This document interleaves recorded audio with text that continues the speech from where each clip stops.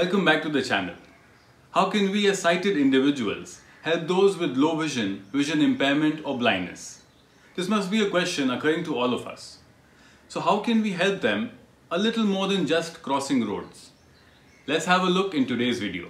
Globally, at least 2.2 billion people have a vision impairment or blindness, of whom at least 1 billion have a vision impairment that could have been prevented or is yet to be addressed. The leading causes of vision impairment are uncorrected refractive errors and cataracts. The majority of people with vision impairment are over the age of 50 years. 200 million people with low vision do not have access to assistive products for low vision. Lack of affordability in low income countries are a major reason that people with low vision do not have access to assistive products. One thing we must keep in mind that it's not the end of the world for individuals with low vision, vision impairment or blindness. I'm sure we have come across someone or the other with these conditions. Our human instinct and qualities encourage us to help them. Now there are myriads of aids available to assist them perform their day-to-day activities. Just like you and me. In fact, at times even more efficiently. Smartphones have become increasingly affordable and widely used. So why not use some of the inbuilt features that are meant to improve the quality of their lives? Today we'll be covering an app and some of the features that are built into our phone that help the visually impaired or individuals with low vision or blindness in navigating the smartphone environment with absolute ease and comfort. The highlight is that this app is free and all of the features are already built into our phone. We just need to know their use. It'll take multiple videos to cover all of the available aids. But let us begin by exploring this app called the MANI app or the mobile aided note identifier app.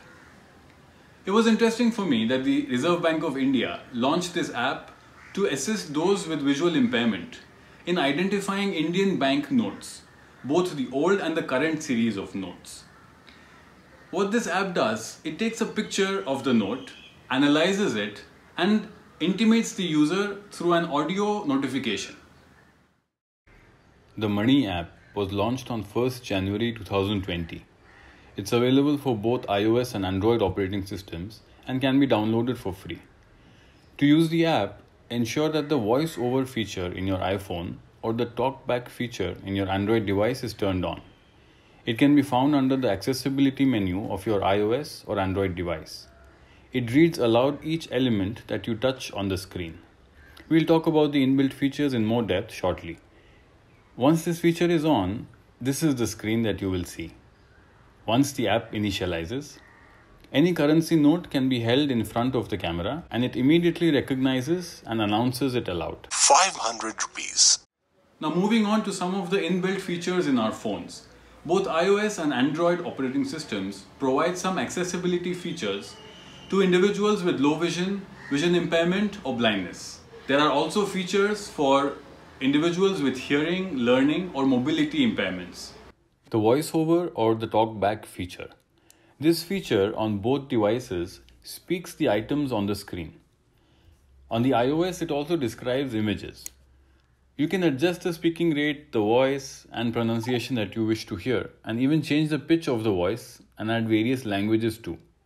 The zoom or magnification gestures. This feature magnifies the entire screen. Using some gestures, you can control the enlargement of items on the screen. The iOS has an inbuilt magnifier. It works like a digital magnifying glass. Now you might ask, what is the difference between the magnifier and the camera app? The difference is that the magnifier app provides certain added functions like using the flash to brighten objects increasing or decreasing the contrast, viewing the objects through various filters like white blue, yellow blue, grayscale, yellow black, red black. You can invert colors as well.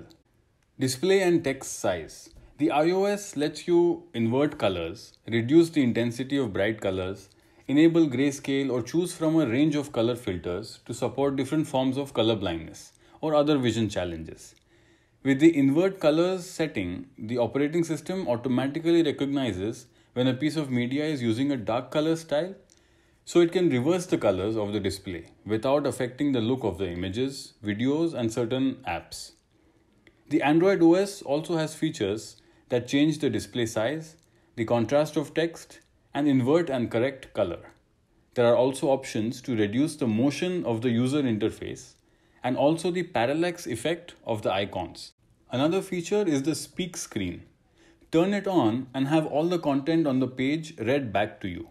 You can adjust the voice's dialect and speaking rate and have word sentences or words within sentences highlighted as they are being read. Another feature on iOS is that of audio descriptions.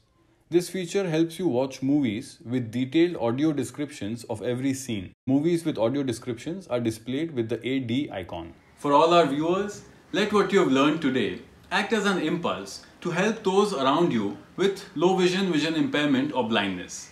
As students, stay alert to occasions where you can help and assist individuals learn about these features and actively contribute in enhancing their lives.